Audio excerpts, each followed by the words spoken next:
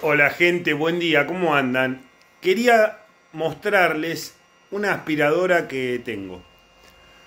Va a ser un videito rápido, cortito, pero si les interesa que profundicemos sobre ese tema, déjenmelo en los comentarios. Y también otra cosita más que por ahí les interesa y si quieren por ahí podemos hacer revisiones de eso también.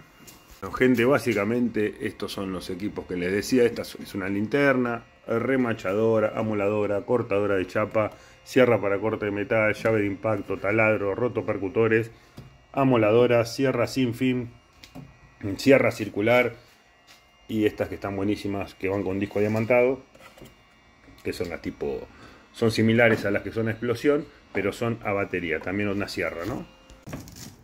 Aspiradora BC40 MX. Fíjense las ruedas que tiene total, totalmente reforzada.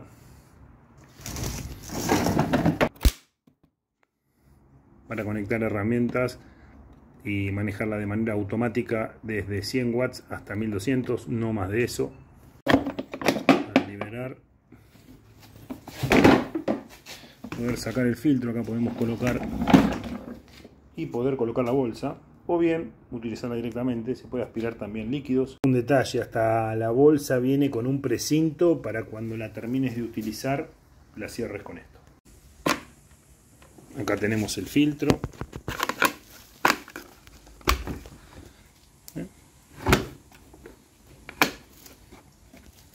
Acá también nos va a indicar en el caso que el filtro esté tapado. ¿sí? Un botón de encendido, automático y apagado manija, correa y ganchos para sujeción de algo que querramos de la manguera o de distintos accesorios que pueden ir arriba de la herramienta. Manija telescópica para el traslado espectacular y ahora la vamos a poner en marcha. Cable recontra largo. Digo, entre lo que mide el cable y lo que mide la manguera no necesitas alargue. Así que bueno, vamos a probarla haciendo una limpieza, que acá está todo un poco desordenado. Cuando arranca van a escuchar un golpe, eso se llama ataque automático.